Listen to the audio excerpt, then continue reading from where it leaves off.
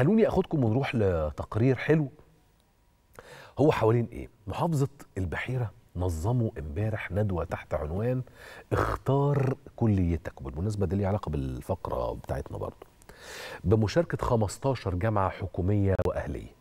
طيب ليه؟ عشان بنلقي الضوء على طبيعة الكليات المختلفة والبرامج الدراسية وبالتالي تؤهلك إلى المجالات المختلفة اللي أنت نفسك فيها وهتكبر فيها وتبدع فيها وهكذا ويحصل عملية توعية وتثقيف لطلاب الثانوية العامة المتخرجين من الثانوية العامة دول بيتخرجوا من المدرسة علشان خاطر وهو داخل الكلية وهو داخل الجامعة يبقى فاهم هو مقبل على إيه.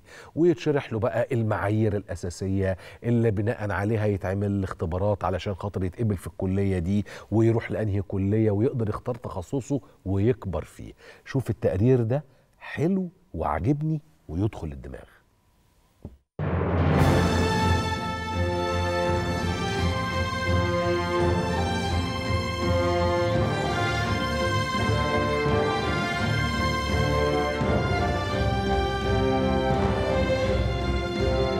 إحنا بنعتبر ده ملتقى الطلاب ولادنا كلهم يعرفوا آه، إيه هي امكانيات الجامعات وامكانيات المعاهد عشان يقدروا يتواصلوا معاهم.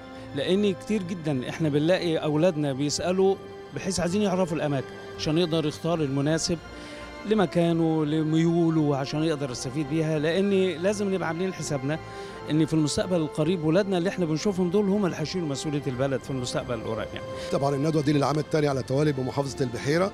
إحنا بنهدف من الندوة دي إن إحنا نعرف اولادنا ال- الجامعات الجديدة اللي موجودة اللي فخامة الرئيس افتتحها العام الماضي.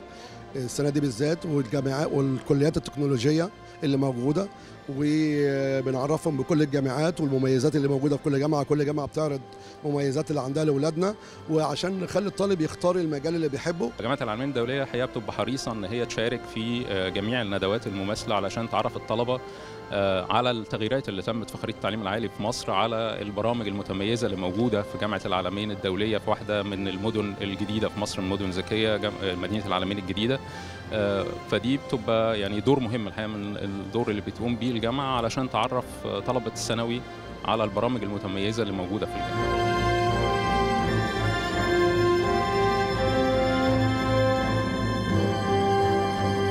في تنافس بين بين الجامعات في التخصصات المختلفة ودي أهميتها في تعريف الطالب في بعض مثلا أبناء الطلاب في الثانوية العامة ما بيعرفوش مثلا تخصصات أو إيه الجديد في التخصصات اللي بيفيدهم وممكن يلتحق بيه وأهميته في سوق العمل والالتحاقه بسوق العمل. إحنا بنيجي هنا عشان نعرف الشرايط الطلبة عن المجالات اللي متاحة في جامعة العالمين وبنيجي بنعرضها بطريقة مختلفة شوية عن أي جامعة قدمتها إن مش الإدارة هي اللي بتيجي نتكلم إحنا كطلبة مرينا بتجربة نفس كنا في مكان الطلبة التانيين دول فشويه بيبقى في سواء نوع من أنواع الكونكت ما بيننا إن هم يفهموا شوية عن كل كلية. الندوة ديت هتعرفنا الكليات نظام الكليات جامعة فارس مثلا جامعة الجامعة اليابانية جامعة دمنهور اسكندرية.